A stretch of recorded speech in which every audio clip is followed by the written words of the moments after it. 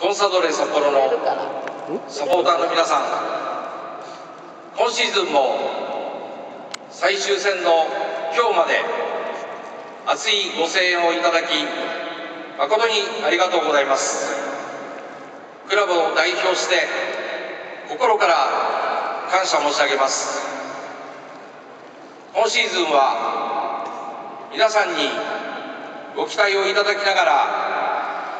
十分な結果を残すことができませんでした。大変申し訳ありません。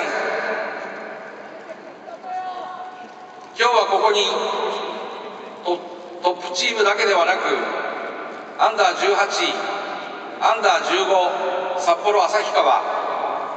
アンダー12の選手が揃っております。私たちはこの1年間コンサドーレの赤黒をまといながら全国全道各地でオールコンサドーレで戦ってまいりました。終盤怪我人が多く大変な状況の中最後まで闘志を見せてくれた選手たち。今シーズンでチームを去ることになる選手たち。アジアの地でも活躍してくれたユースチームの選手たち思いはたくさんあります。このオールコンサドレのチームスタッフ選手たちにもう一度大きな拍手をお願いいたします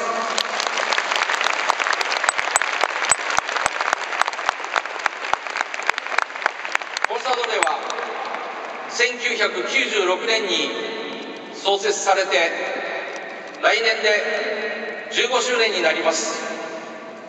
私たちはこの15周年の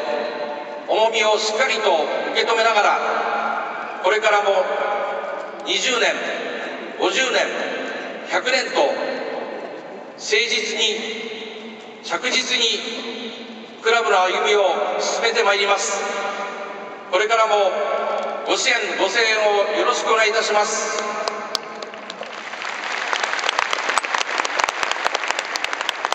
最後になりましたが今シーズンも全面的にクラブを支えていただいたスポンサー株主の皆様サッカー協会競技場関係者の皆様講演会ファンクラブの皆様ボランティアスタッフの皆様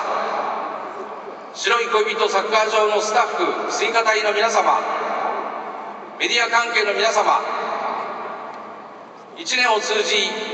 自主制作チラシでご協力いただいた皆様などコンサドーレにお力を貸していただいた全ての皆様に心から感謝を申し上げます。そして最後に今シーズンこういう状況の中でこのドームでアスベツで函館室蘭で